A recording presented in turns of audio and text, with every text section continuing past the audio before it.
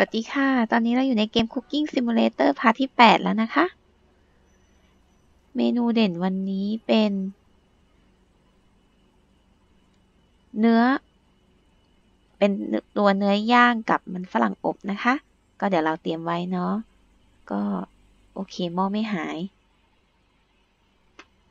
อ้าว เละเลยของข้างใน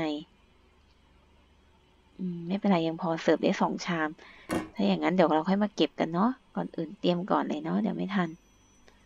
ให้มาเก็บในช่วง cleaning phase ก็คงได้มั้ง โอเค อะ ปรุงไว้อีกสักชุดหนึ่งแล้วกันเนาะ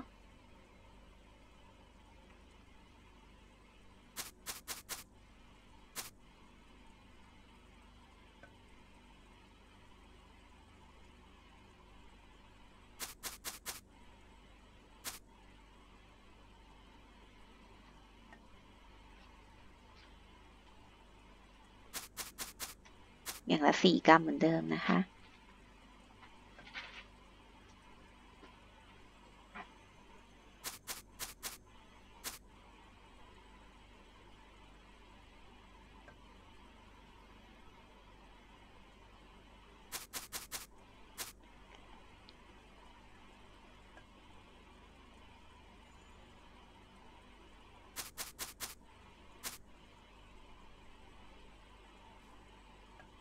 โอเค แล้ว ก็หั่นครึ่งเนาะ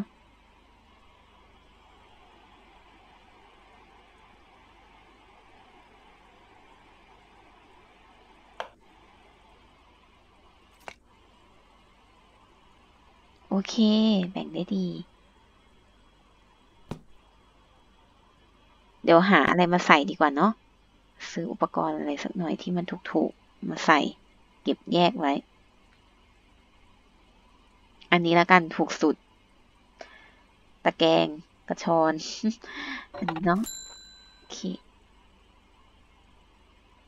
ใส่ลงไป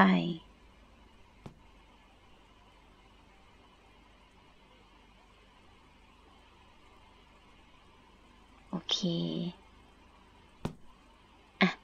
ถ้างั้นเดี๋ยวเรามาดูกันนะคะ ว่าเมนูที่ซื้อเมื่อวานนี้ต้องซื้ออุปกรณ์หรือว่าเครื่องปรุงอะไรเพิ่มหรือเปล่าเนาะ เคตัวนี้นะคะ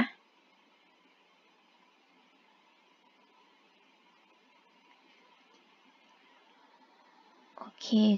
ก็จะมีทำใน Food Processor นะคะ ก็จะมีแตงกวา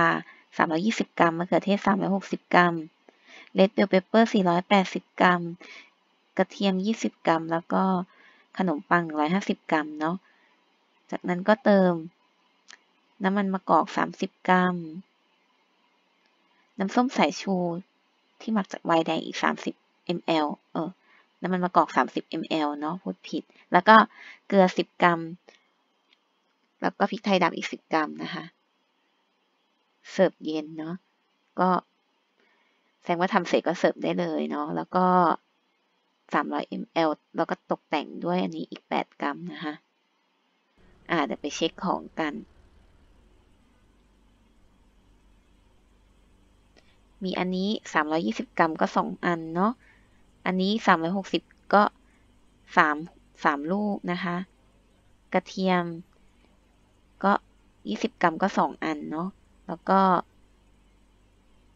Red Bell Pepper 480 กรัมก็ 2 อันนะคะ แล้วก็ขนมปัง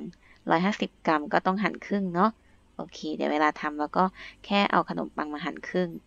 ส่วนอันนี้ก็ เค รื่องปรุงที่ต้องซื้อเพิ่มก็มีอันนี้นะคะ วางไว้ตรงนี้เลยก็ได้เนาะเพราะว่าขยับเดี๋ยวทำเสร็จเราก็เอามาไว้ตรงนี้มาปรุงเพิ่ม แล้วก็ตัวนี้เนาะโอเค เรียบร้อย อ่า เราเริ่ม มีเมนูก็พูดว่าเราเริ่มมีออเดอร์เข้ามาเยอะทีละเยอะขึ้นเรื่อยๆนะคะ เข้ามาทีเดียวบางทีสองสามอัน ก็เตรียมพวกส่วนที่เป็นเนื้อปรุงไว้เลยก็ได้นะ เออ ก็เดี๋ยวหยิบอันนี้มาปรุงนะคะ ปรุงเป็นสต็อกไว้เนาะ เวลาที่ทำขึ้นมาจะได้ไวนะคะ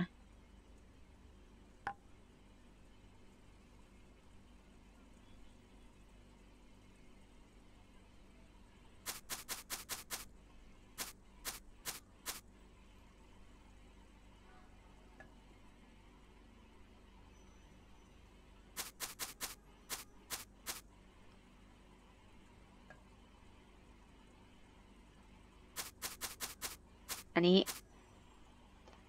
เกลือเจ็ดพริกไทยดำเจ็ดแล้วก็ red bell pepper powder เอ๊ย sweet bell pepper powder อีกสิบเนาะโอเค แล้วก็มาวางไว้นะคะ อันนี้ก็ปรุงให้หมดไปเลย จะได้ใส่รวมกันไม่เปลืองที่เนาะโอเคหนึ่งสองหนึ่งสองเนาะโอเค เพราะอันนี้ชิ้นละประมาณร้อยกรัมนะคะ แล้วก็เหยาะไปเลยชิ้นละสองกรัม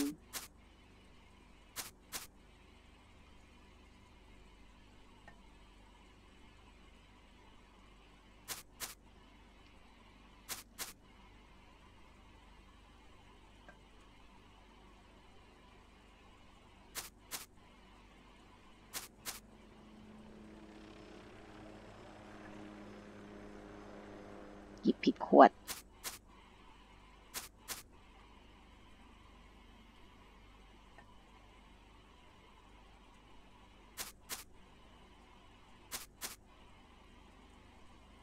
โอเค แล้วก็เช็คอีกทีนะคะ ว่าครบหกอย่างไหมหนึ่งสองสามสี่ห้าหกโอเคหนึ่งสองสามสี่ห้าหกโอเค ครบนะคะ ก็หยิบอันนี้มา แล้วเก็บเข้าไป ทีนี้ก็เตรียมได้สามชุดแล้ว อ่าหยิบปลาแซลมอนมาเตรียมไว้บ้าง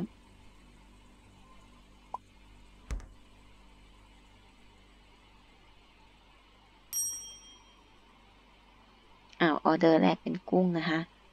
ถ้างั้นก็ มาแล้วก็ทำเลยแล้วกันเนาะ น้ำมัน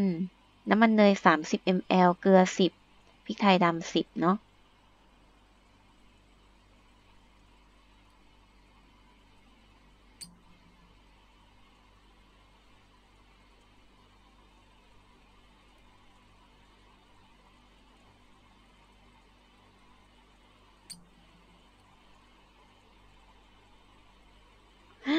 เยอะไปนิดนึง เออ เนี่ยค่ะ กรณีถ้าเกิดว่าเราใส่เยอะไปนิดนึงก็ชิมนะคะ มันก็จะหายไปหนึ่งเนาะ หายไปหนึ่ง ml เห็นไหมคะจากเมื่อกี้นี้สามสิบสอง เดี๋ยวเรามาดูกัน เห็นไหมเหลือสามสิบเอ็ด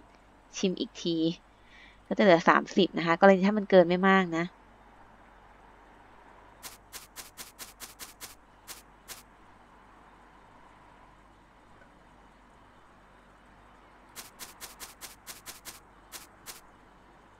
โอเค ใส่กุ้งหกตัวใช่ไหมเอ่ย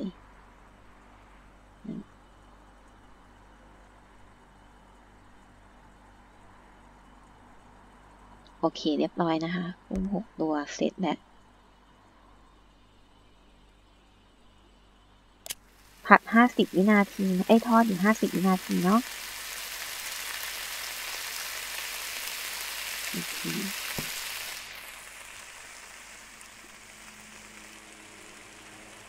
แล้ว ก็ที่เหลือก็แค่หั่นมะนาวนะคะกระตกแต่งก็เรียบร้อยแล้วฉันทำเมนูนี้ปรุงรอเลย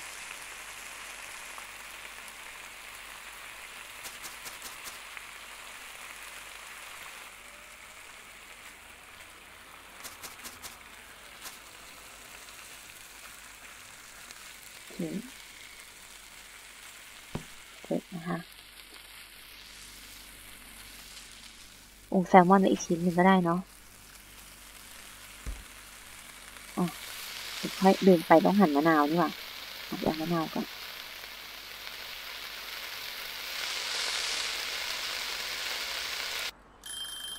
สุกแล้วโอเค เอามะนาวมาหั่นนะคะ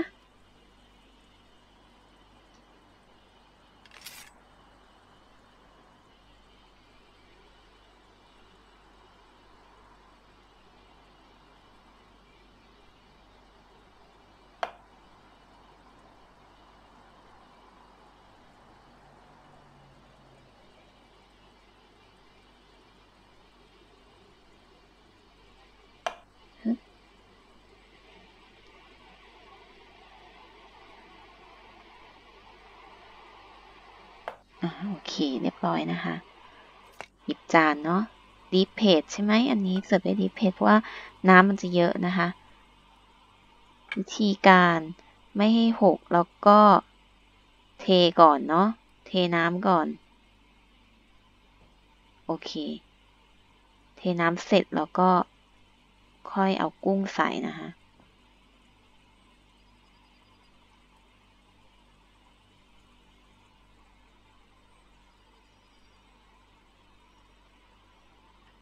โอเค โอเค แล้วก็แต่งตกแต่งใบอันนี้เนาะ อีกสามใบ อืม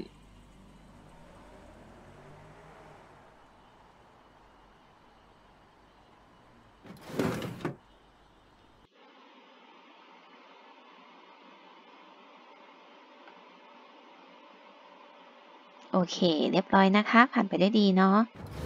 นี่ทำจานถัดไปเลยนะคะ เติมน้ำก่อนเนาะมันฝรั่งใช้เวลาต้มหน่อย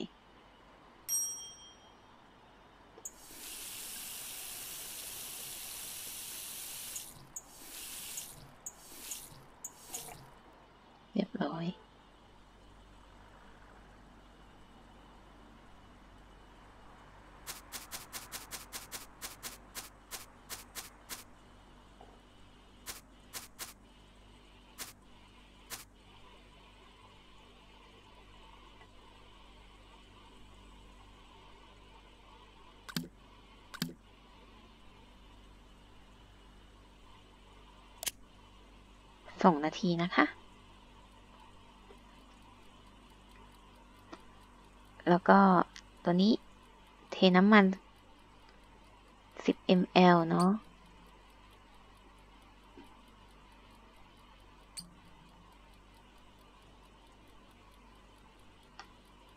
โอเค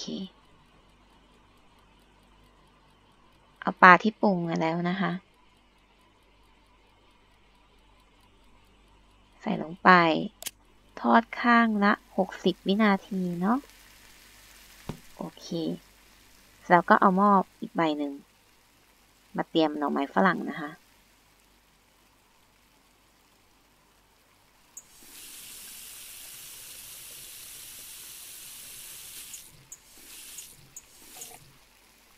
โอเค หน่อไม้ฝรั่งนี่ชอบมีปัญหาเค็มไปทุกทีไม่รู้เพราะอะไร ถ้างั้นเดี๋ยวคราวนี้ลองใส่เกลือน้อยลงหน่อยแล้วกันเนาะ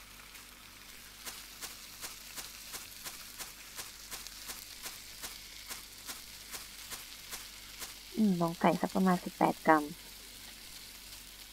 เอาออกสักสักสองกรัมกะกะเอานะคะ แบบไม่ให้ผิดสูตรมาก แต่ถ้าเขาติว่าเค็มไปก็ออกสักกรัมสองกรัม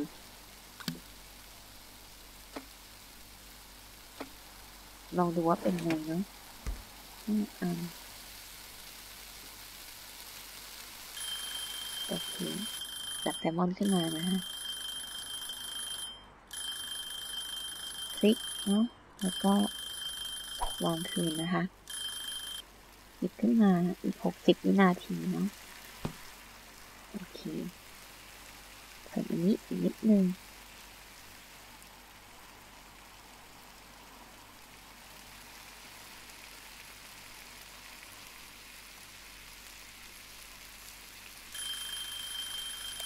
โอเค แล้วก็เปิดเตาอันนี้ต่ออีกหนึ่งร้อยวินาทีนะคะ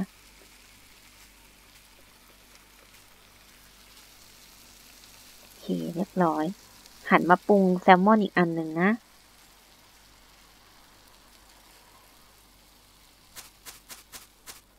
อุ้ยต้องรีบแหละอย่าล้นอย่าล้นอย่าล้น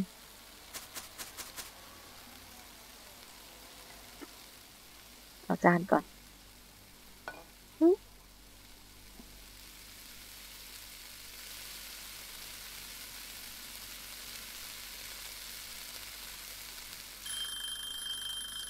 เรียบร้อย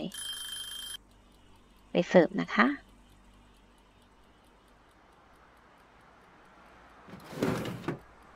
โอเค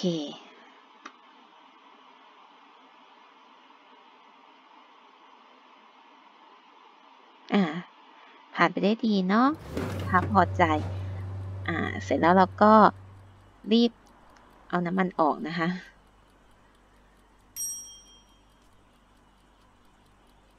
ชอบมีปัญหาเรื่อง heating mistake เดี๋ยวลองใส่น้ำมันลงไปนิดนึงแล้วกันเนาะ เพราะว่าเวลาทอดแบบมีน้ำมันไม่เห็นมีปัญหาเลยเลยปรุงเหมือนกันเดี๋ยวลองใส่นิดนึง เออลองดู ว่าคะแนนมันจะดีขึ้นไหมเพราะว่าหักไปเราหักเราไปตั้งเกือบไปตั้งครึ่งดาวเนี่ยอ่าลองใส่นิดนึงดูว่ามีว่าเป็นเป็นอะไรเป็นอะไรไหมนะคะ เพราะคะแนนใส่น้ำมันมันดูดีกว่า โอเค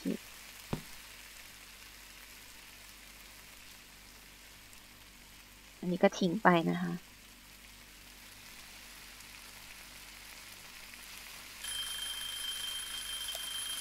เรียบร้อยแล้วอันนี้ก็รอกลับ ไปเอา food processor เดี๋ยวมันเตือนเราไม่รู้ว่าเตือนอันไหน ปิดไปก่อน อ่า โอเค นี่นะคะ food processor อยู่นี้เนาะเราก็ไปหยิบวัตถุดิบนะคะสำหรับเมนูใหม่เนาะคือตัวนี้ ถ้าจำไม่ได้ก็ดูจอได้เลยนะคะ อันนี้เตรียมเรา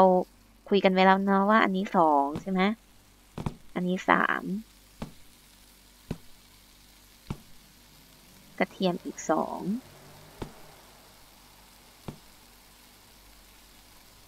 อันนี้สองสองลูกเนาะแล้วก็ขนมปังอีกครึ่งหนึ่งใช่ไหมคะต้องไปหั่น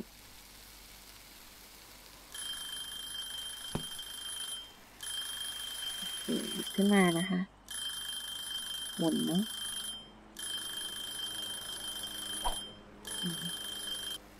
ตั้งเวลาอีกหกสิบวินาที โอเค ระหว่างนี้ก็ เอาขนมปังนะคะ มาหั่นครึ่งเนาะ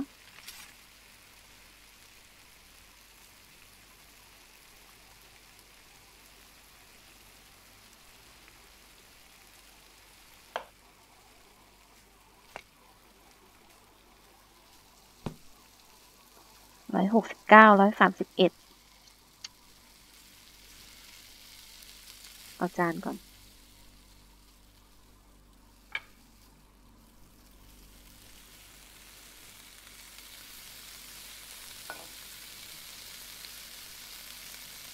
ใกล้แล้วหั่นอีกนิดนึงแล้วกันเนาะ อันนี้มันน้อยไปหน่อยอะ่ะ ไม่รู้จะได้ไหม เดี๋ยวค่อยมาหั่นต่อล้วกัน ต้องเสิร์ฟแล้ว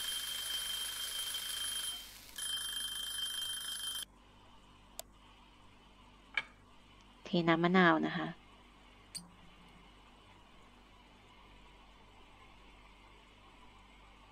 โอเค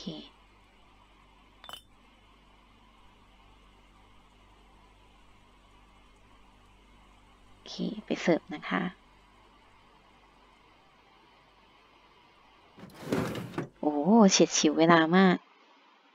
น่ะ คะแนนมันดีกว่าจริงด้วยถ้าใส่น้ำมันลงไปหน่อยอะเนาะ ถึงจะมีคำว่า unwanted oil ก็เถอะ แต่ว่าคะแนนมันดีกว่าจริงด้วยลดเกลือลงมาหน่อยก็ไม่ติเรื่องเค็มไปแล้ว อ่าโอเค งั้นต่อไปเราจะทอดแบบใช้น้ำมันหน่อยแล้วกัน โอเค ทีนี้ เดี๋ยวหั่นขนมปังออกอีกนิดนึงเนาะ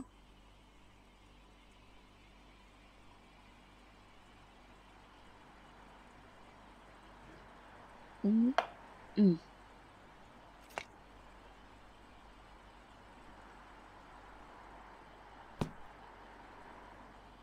อ่า ดี ได้ใกล้เคียงเลยทีนี้ ใส่ลงไปนะคะ อีกหนึ่งชิ้นเนาะ อันนี้มันร้อยสี่สิบเก้าก็แสดงว่าอีกส่วนหนึ่งมันร้อยห้าสิบเอ็ดนะคะ เอาไปเบรน แล้วก็จากนั้นก็ค่อยมาปรุงเนาะ เบนก็กดตั้งลงไปนะคะ แล้วก็กดปุ่มออนเสร็จแล้วเนาะออฟง่าย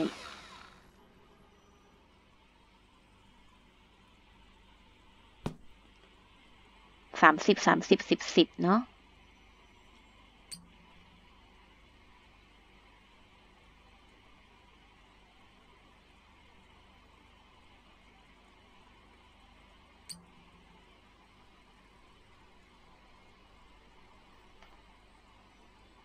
ป๊ะมาก โอเค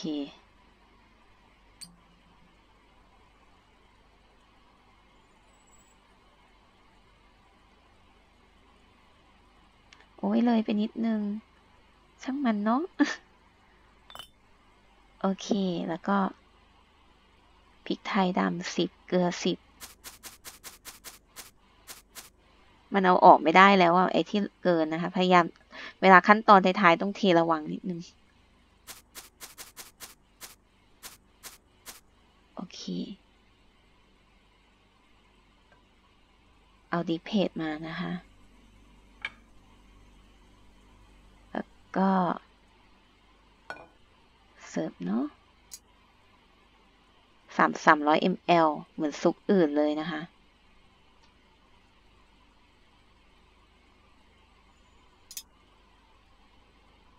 ไปตกแต่งด้วยใบอันนี้ก่อนสี่อันเนาะแปดกรัม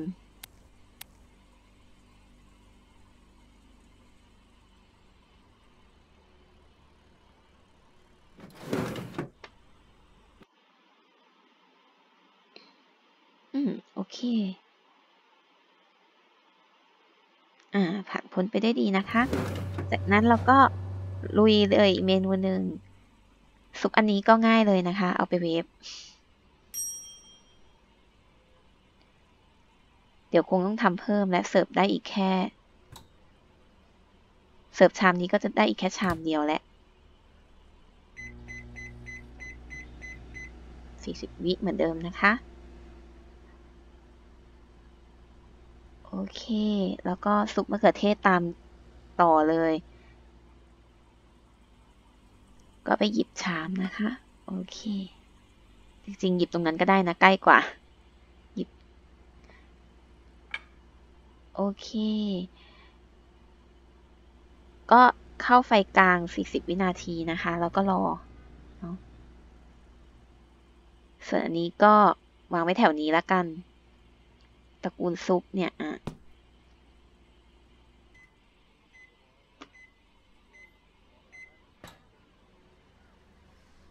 ร็จแล้วนะคะ ระหว่างนี้ก็เข้าอีกอันหนึ่งไปเลย เหมือนกันนะคะ ไฟกลาง 40 วินาที โอเค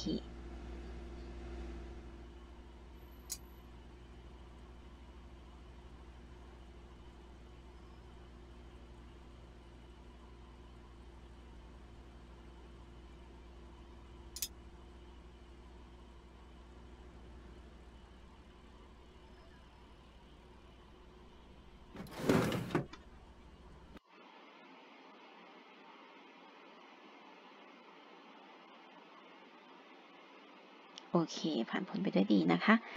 ก็ ระหว่างรอสุกมะเขือเทศแล้วก็ปรุงปลาเพิ่มเนาะเพราะว่าแซลมอนนี่ใช้บ่อยเหมือนกันนะเนี่ยเอ้ามาแล้วออเดอร์ใหม่ไม่ทันขาดคำมาเร็วมาก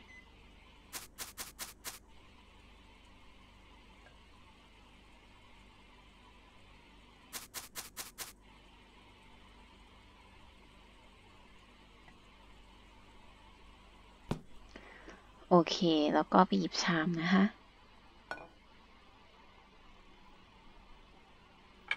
จริงๆ ยังมีเวลาอีกเยอะถ้าเรายังไม่อยากให้ออเดอร์ใหม่เข้ามานะ ก็ชะลอไว้นิดนึงก็ได้นะคะ แต่ไม่แน่ใจว่าจะช่วยไหม โอเคเอาเรามาก่อน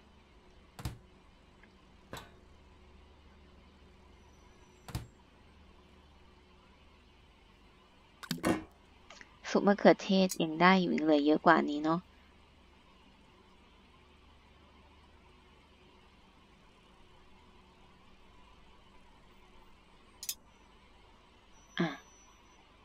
ระหว่างนี้ก็หยิบไอ้นี่มาเลยนะคะ ที่เราเตรียมไว้เนาะเอาไปเลย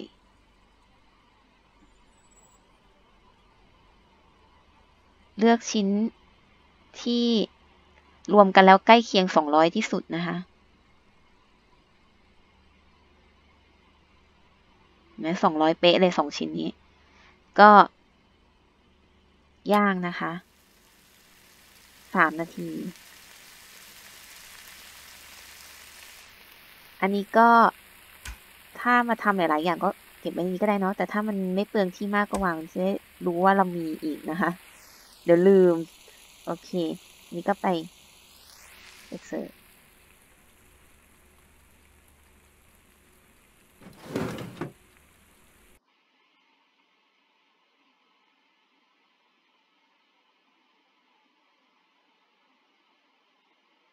โอเค เดี๋ยวจะเตรียมทำซุปเนาะซุปที่ใกล้จะหมดก็หยิบมาซื้อไว้เลยนะคะ ตัวนี้เนาะ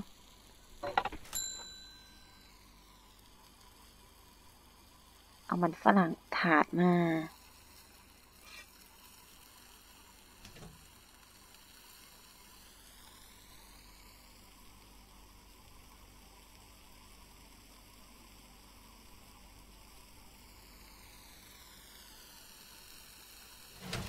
แปดสิบวินาทีนะคะ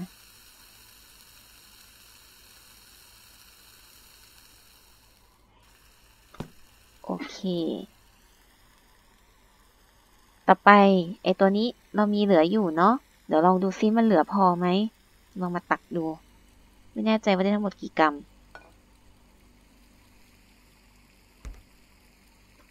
เอ๊ะไม่แน่ใจว่าได้ทั้งหมดกี่ ml นะคะ ก็ต้องลองตักดู ว่าถึงไหมสามร้อย ml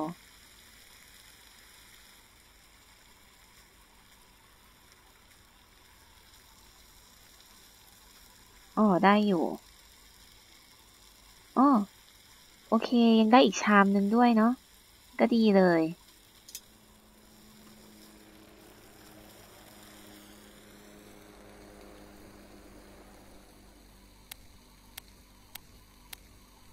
โอเค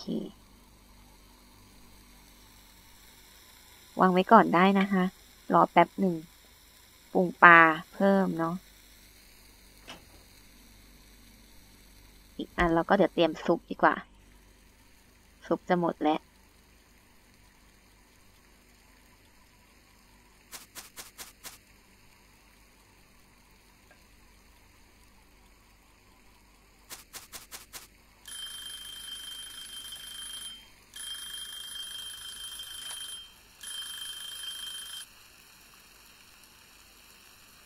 ร้อยนะคะ เอาตะแกรงมาอีกอันหนึ่งเนาะ เอาไว้สต็อกปลาแซลมอนนะคะนี่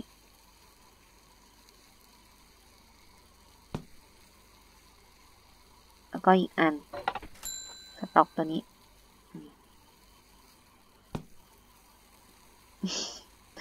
อันใหญ่กว่า โอเค ถ้างั้นระหว่างรอ ก็อันนี้เนาะ ทิ้งน้ำไปนะคะอ๋อเสร็จแล้ว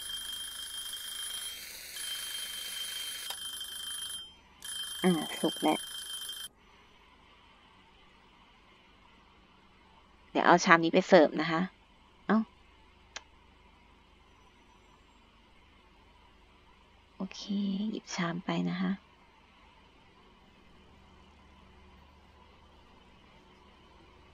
ตัวนี้เนาะโอเคเหมือนเดิมอยู่แล้วล่ะ เพราะว่าเราใช้อันเดิมที่ทำเสร็จแล้วนะคะอะหยิบจานเนาะ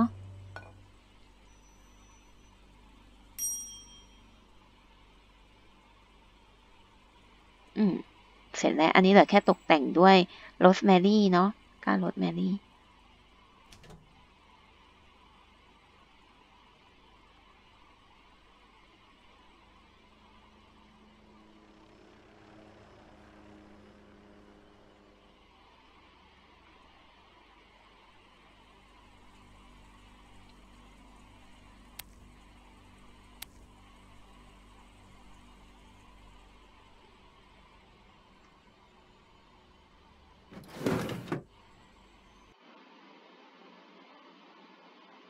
เค โอ้ถ้าเตรียมพวกเนื้อไว้ก่อนเนี่ย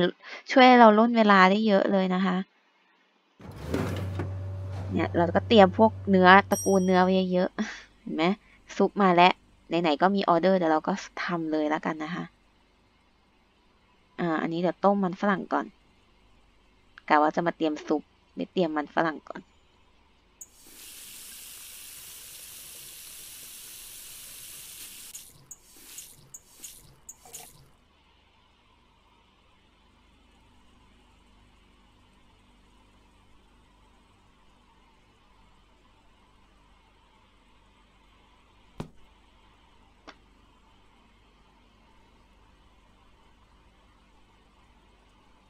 อันนี้ต้องใส่ 10 ml เนาะ เพราะว่าตามสูตรเขากำหนดไว้แล้ว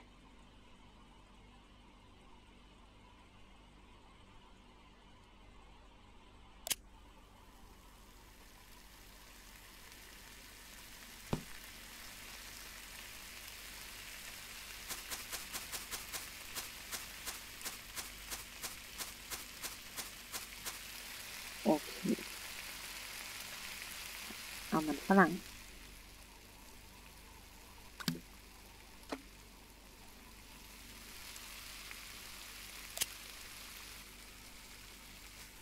สองนาทีนะคะ โอเค อันนี้ก็ไปเทซุปไว้รอเลย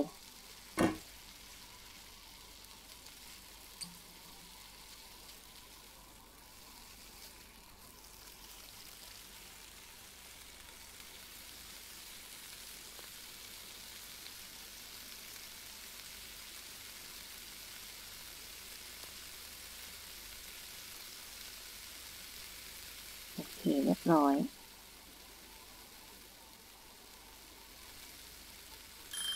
อ้าวได้ เวลาแล้วหมุนนะคะ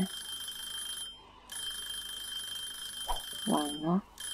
ตั้งเวลาอีกหนึ่งนาที โอเคจากนั้นก็ถ้าจำไม่ได้ก็ดูนะคะว่าหนังละยี่สิบกรัมเนาะ โอเค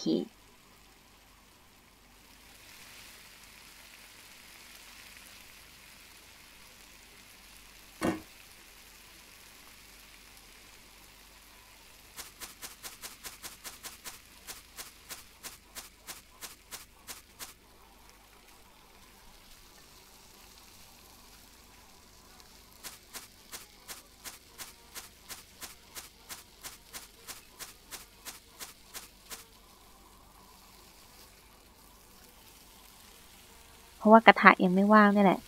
จริงๆ ถ้าเกิดเราจะรีบจริง ๆ ก็ซื้อกระทะอีกใบนะคะห้าหัวเนาะ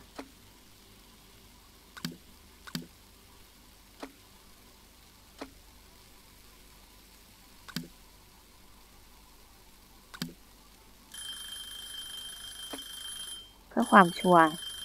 เช็คอีกรอบมีสี่อย่างเนาะโอเค อันนี้ปิดซะ อ่ายัง ไม่ไหม้จะตั้งนะคะ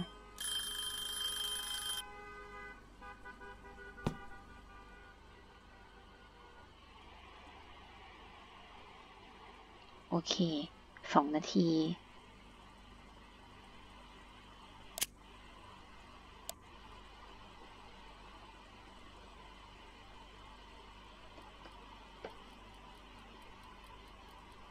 อะ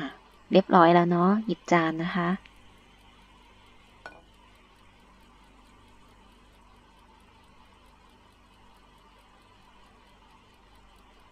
เสิร์ฟเนาะ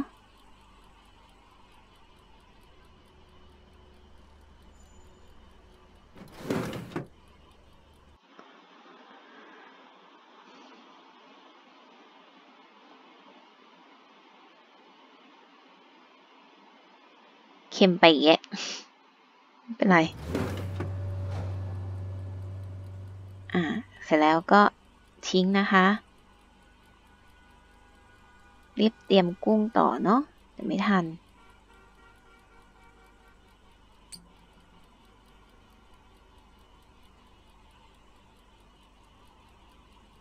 อีก 3 ml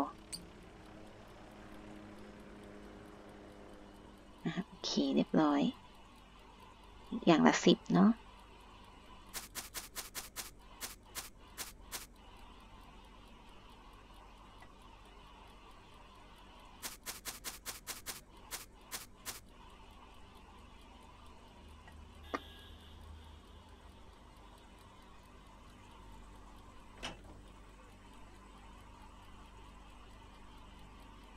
้งหกตัวนะคะสี่ห้าหกโอเคห้าสิบวินาทีเนาะ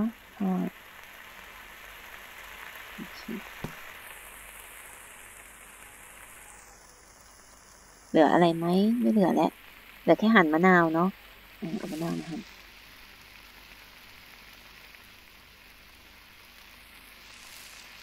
อุ้ยจะหมดเวลาแล้วตัวกุ้งต้องรีบแล้ว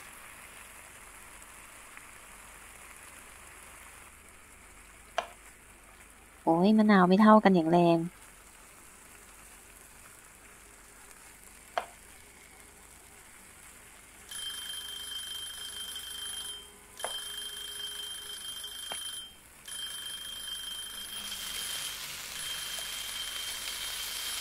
โอเคตัวสุกยังไม่ไหม้อะโอ เคเรียบร้อยสุกแล้วนะคะ เอาจานนะ ชามก่อน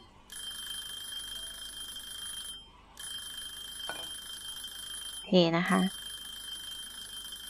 นี่ขนาดเราเตรียมไว้บางอย่างแล้วนะเนี่ย โหไม่จนเจียนจะไม่ทันเอา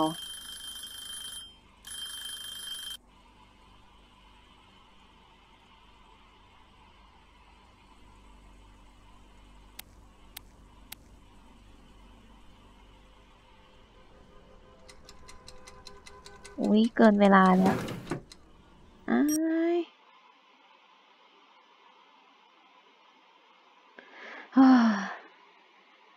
โอเค อ่า เสร็จแล้วก็ ซุปนะคะ รีบเลย ตักใส่ชามเนาะ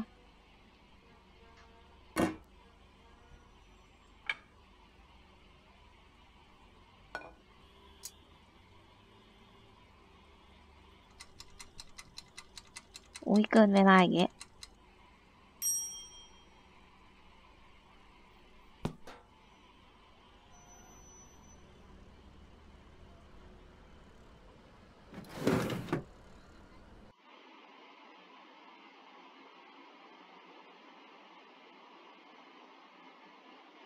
โอเค เฮ้ย พยายามอย่าให้ต่ำกว่าสี่ดาวนะคะโอเวอร์สกอร์เนี่ย มันจะมีผลกับเรื่องที่เรา เอ่อมีผลกับตัวเชนนะ ถ้าเกิดว่าเราเราซื้อเชนไว้นะคะ ถ้าเราเลือกสกิลที่แบบสี่ดาวขึ้นไปต่อเนื่องอะนะได้นะคะ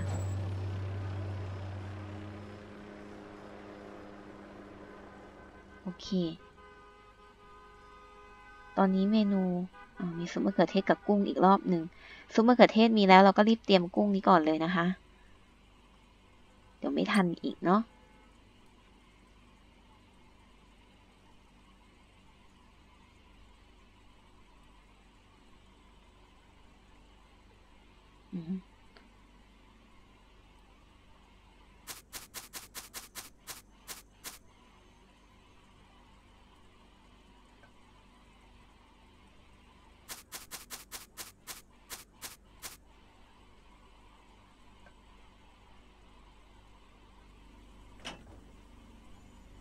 ตัวนะคะ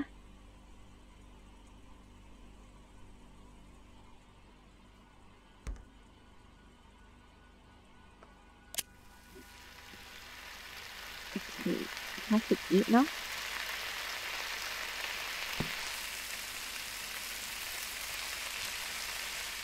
อันนี้ทิ้งนะคะโอเค มะนาวมาหั่นก่อน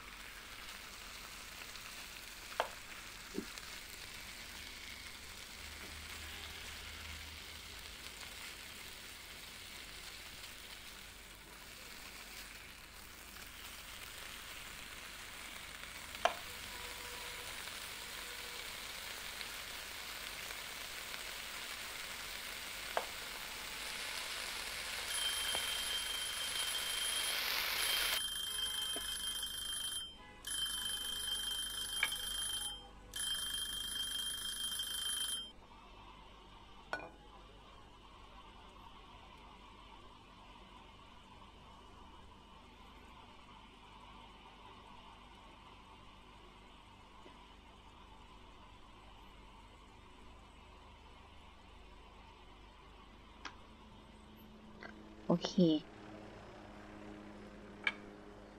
เตรียมซุปมะเขือเทศไว้เลยก็ได้นะคะ เพราะว่าใกล้จะหมดแล้วเหมือนกัน 700 ml มันไม่พอ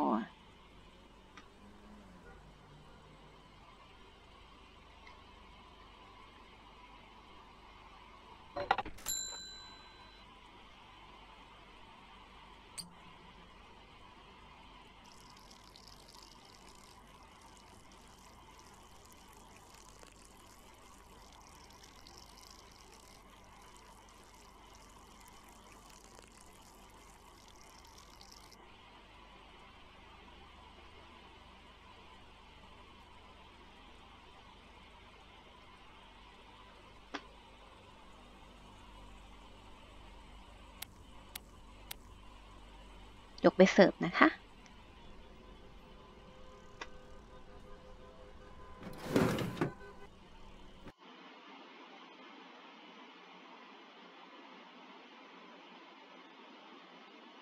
โอเค อ่า เสร็จแล้วก็ซุปมะเขือเทศเนี่ยมีเวลาเตรียมก็เตรียมใหม่ไปเลยนะคะ แต่ว่าถ้าเกิดไม่มีเวลาคิดว่าไม่ทันก็เอาที่เอาอันเดิมมาอุ่นเนาะ สิบสองสิบสองหกเนาะโอเค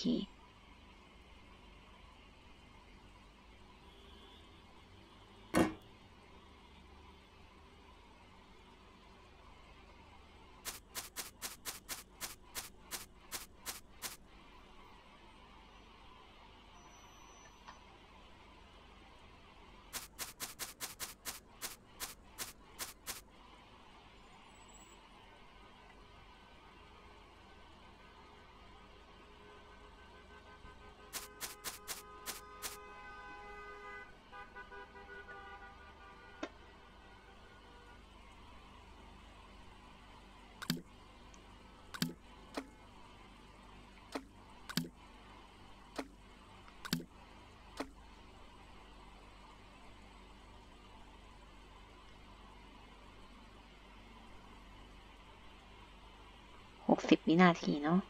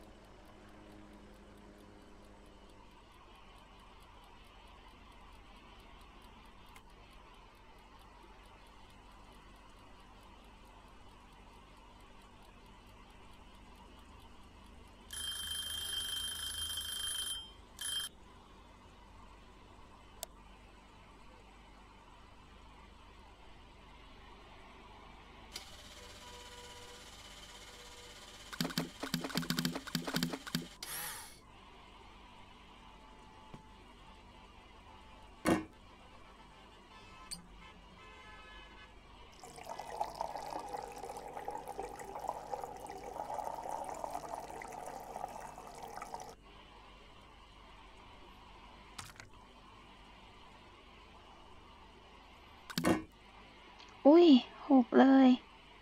รีบเกิน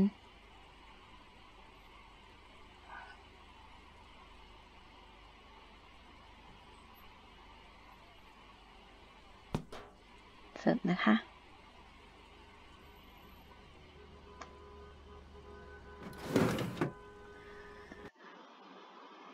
โอเค ผ่านพ้นไปด้วยดี อ่า เรียบร้อยเขาบอกวันนี้เสร็จแล้วนะคะรีบจน เอ้ย เหนื่อยมาก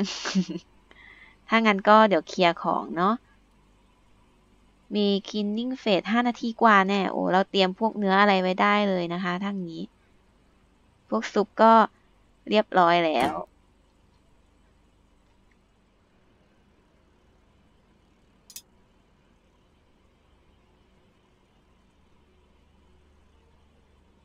ห้าร้อยห้าร้อย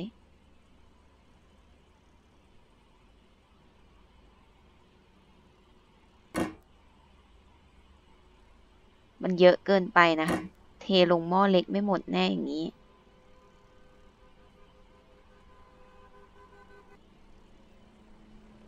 อันนี้น่าจะได้ ลองดูสิ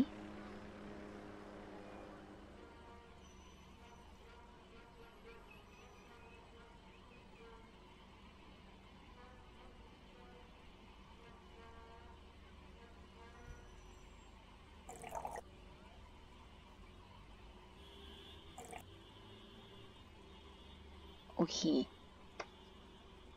ไหนๆก็จะไปทิ้งแล้วเราก็เก็บขึ้นมานะคะ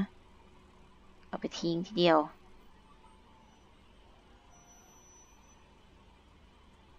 โอเค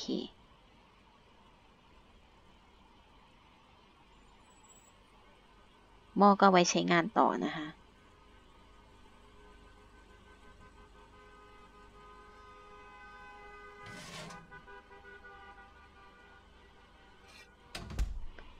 ยังไม่มีอะไรจะเสียเนาะโอเคยังไม่มีอะไรผุ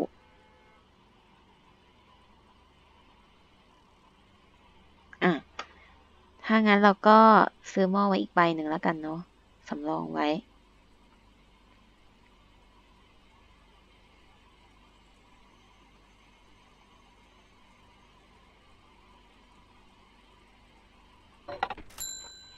โอเค อ่า เตรียมปลาไว้ดีกว่า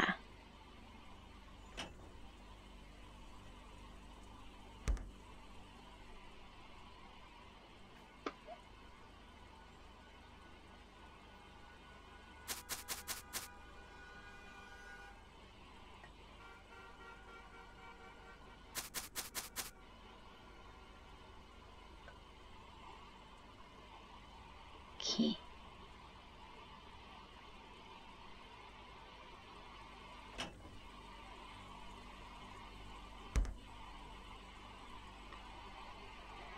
โอ้ยังมีเวลาอีกเยอะเลย ดี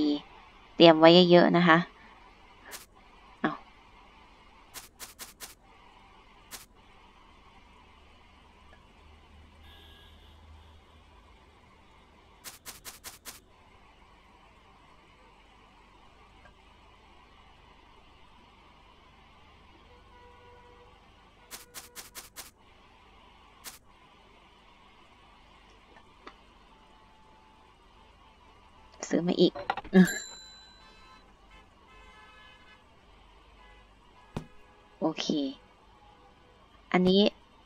นนี้สำรองไว้ดีกว่าเนาะ food processor นี่นะคะ โอเค แล้วก็เตรียมไว้อีกชุดหนึ่งไว้เลย พวกซุปเนี่ยทำทิ้งไว้ได้นะคะ จะไม่เสียเวลาเรา หนึ่ง สอง สามนี่สามเนาะ อันนี้สองนี่สองเนาะ ครบห้าอย่างแล้วเรียบร้อย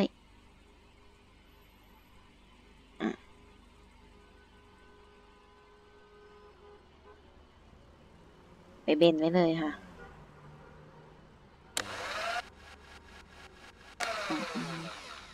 ป่ะ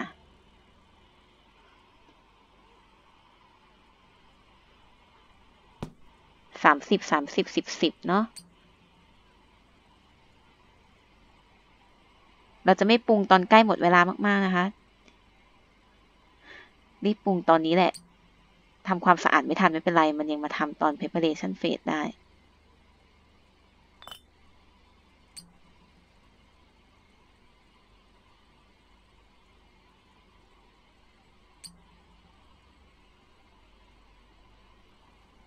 เรียบร้อยเป๊ะมาก อืมรวมนะคะ รวมไปเลยเออจริงๆแล้วน่าจะเอาอันน้อยมาใส่อันเยอะ อืม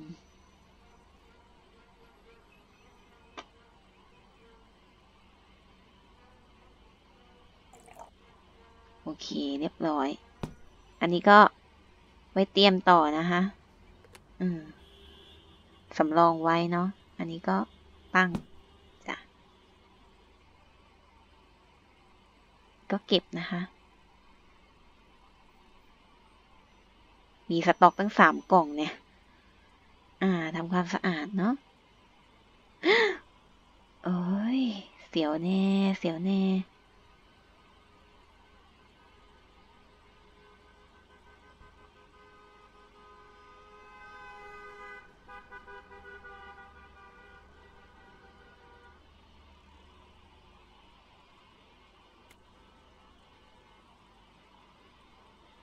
โอ้ เรียบร้อย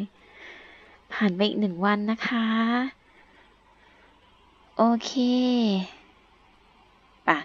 เวลาเตรียมอาหารนี่มักจะไม่ค่อยทันนะคะ เดี๋ยวเรา เราก็ลืมใช้ time enhancer ที่ที่อัพไว้ทุกทีเลย อะทางนั้นก็ผ่านไปได้ดีเนาะ พรุ่งนี้นะคะ นักวิจารณ์อาหารจะมานะ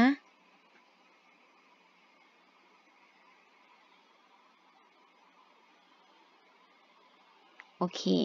เลือกเพิร์กใหม่ได้แล้วเร็วมากเลยอะเยี่ยมเอาอันไหนดีเนาะ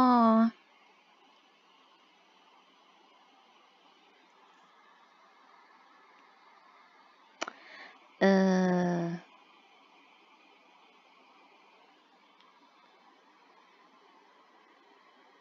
อันนี้ดีไหมอันนี้เหมาะสำหรับคนที่เกียจทำความสะอาดนะคะ ส่วนอันนี้ จานไม่แตกขวดไม่แตกถ้าถ้าเกิดบังคับได้ดีบังคับระวังระวังก็จะไม่แตกอยู่แล้วนะคะ แต่ว่าถ้าเกิดว่าเราเป็นคนที่ทำชนนู่นชนนี่ทำหล่นง่ายก็ก็อัพไว้ก็ดีเนาะแล้วก็ busy day ก็จะช่วยทำให้เอ่อมี XP เพิ่มขึ้นได้เร็วเนาะเพราะว่ามันจะมุมซ้ายล่างเนี่ยมันจะเพิ่มมาอีก อีกอย่างหนึ่งให้เรานะคะ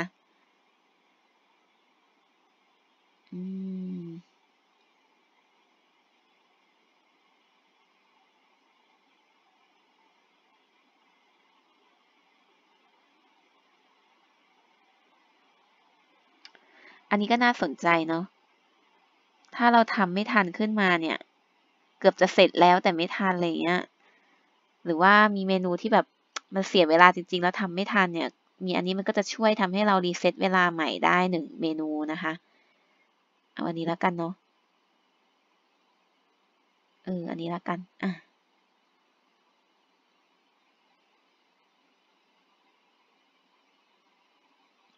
โอเค ส่วนอัปเดต skill ก็อัปเกรด skill ก้อนนี้เนาะ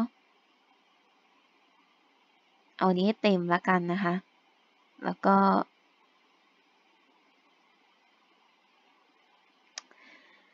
Daily Quest ก็น่าสนเนาะแต่ว่า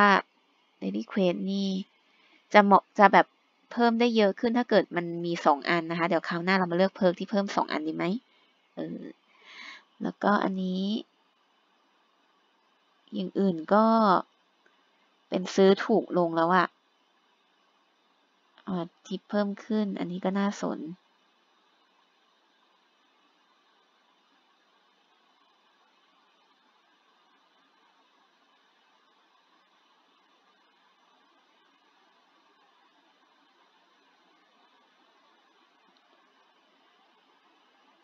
เดี๋ยวอัพอันที่เหลือให้มันเต็มก่อนนะคะก็คืออันนี้เนาะ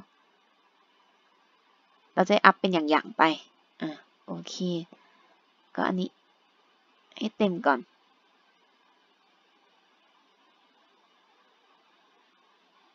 โอเค เลือกเมนูอาหารนะคะโอ้อ่า เขาบอกให้เลือกอันที่เราชอบได้เลยนะคะ ดูแล้วราคาอันนี้สูงสุดเนาะ fame point อันนี้ก็สูงสุดนะคะ อันนี้ cooking point อันนี้ก็สูงสุดอีก ลองดูเนาะวิธีทำ pork chop มามาปรุงรสแล้วก็ แล้วก็ทอดนะคะ ข้างละ 90 วิ เสียเวลาทอดนิดนึงนะ อันนี้ แล้วก็ เอามันฝรั่ง มาปรุงรสแล้วก็หั่นนะคะ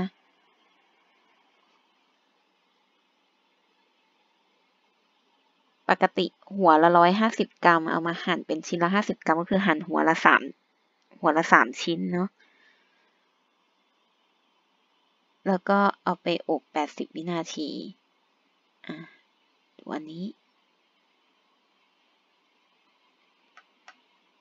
อันนี้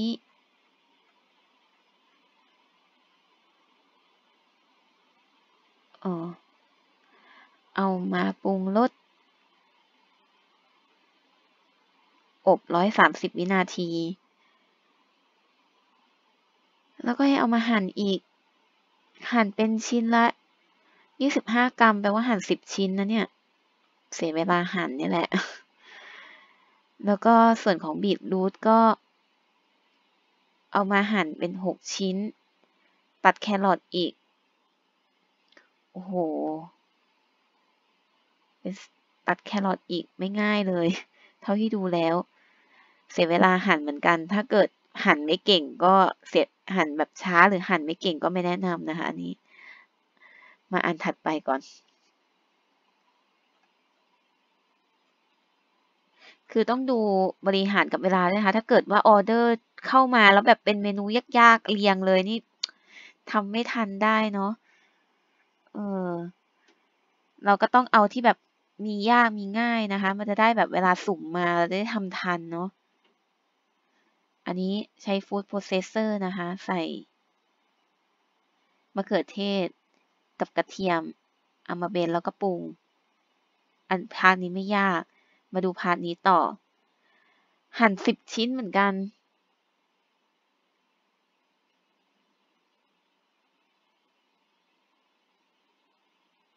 อืม แล้วก็ใส่น้ำมันทอด 80 วินาที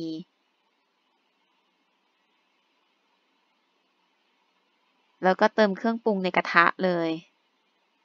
เติมน้ำตาลน้ำแล้วก็ซอสมะเขือเทศทำต่อทอดผัดต่ออีก 20 วินาที แล้วก็เอามาใส่ในดีเพจเออ อันนี้ดูจริง ๆ มันนานน่าจะยากแค่เรื่องหั่นแต่อย่างอื่นดูไม่ไม่ยากอะไรเนาะหรือเปล่า แต่เท่าที่ดูน่าจะมีแค่เรื่องหั่นนี่แหละ แล้วก็เอามาตกแต่งด้วยผักชีใช่ไหม อีก 6 กรัม งั้นก็เอาอันนี้แล้วกันเนาะ ได้เยอะสุดด้วยโอเค อันนี้นะคะ โอเค เข้าวันที่ 9 แล้ว ก็เดี๋ยวสำหรับคลิปนี้ขอจบไว้เท่านี้ก่อนนะคะ ถ้าชอบคลิปนี้ก็อย่าลืมกดไลค์ กดแชร์ แล้วก็กด Subscribe ให้ด้วยนะคะ แล้วเพื่อเป็นกำลังใจให้เราผลิตคลิปใหม่ๆออกมานะ แล้วก็อย่าลืมกดกระดิ่งแจ้งเตือนนะคะจะได้ทราบ แล้วก็ได้รับชมคลิปใหม่ๆก่อนใครนะคะสำหรับวันนี้ขอบคุณมากค่ะ บ๊ายบาย